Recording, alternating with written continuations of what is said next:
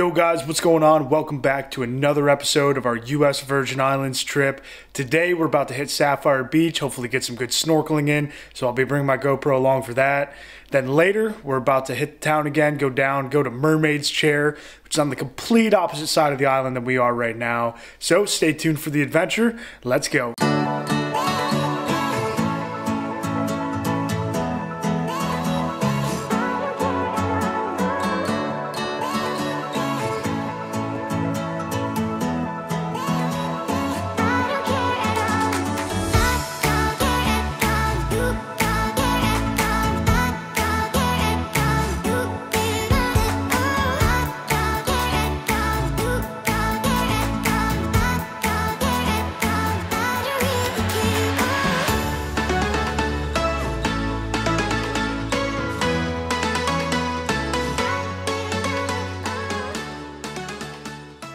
I hope you guys enjoyed that GoPro footage because that was incredible snorkeling with that sea turtle here at Sapphire Beach.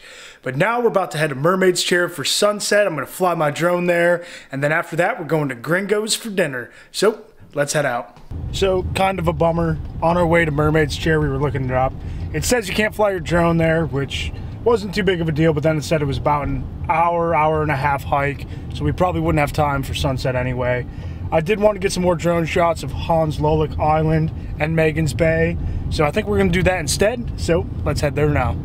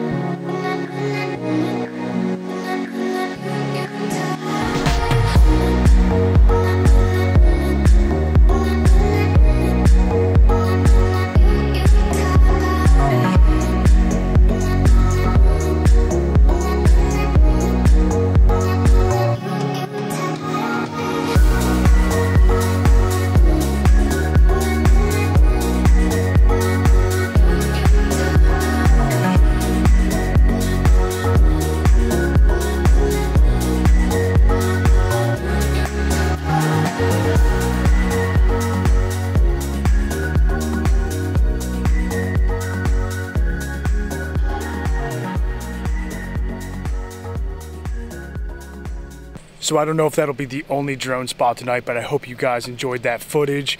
As you can see, we are right next to Magens Bay. I pulled off on this side of the road spot here. But if you walk this way, looks like there's a little bit of construction going on here. This is Magens Bay right here. And then the sun setting off that way. Definitely a beautiful scene. So instead of another drone flight spot, we came down to Yacht Haven Grande here in Charlotte Amalie. It's by the cruise port. I'm gonna be flying my drone a bunch in the next episode. We're exploring St. John all day tomorrow. It's gonna be great. So enjoy this sunset here.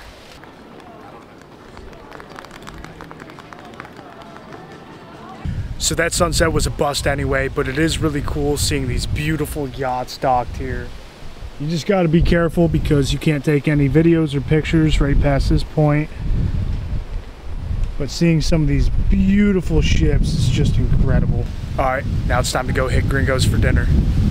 So change of plans again. It's not Gringos. We're going to go there on St. John more than likely. We're going to the Greenhouse in downtown Charlotte Amalie. So we're going to go check that out now.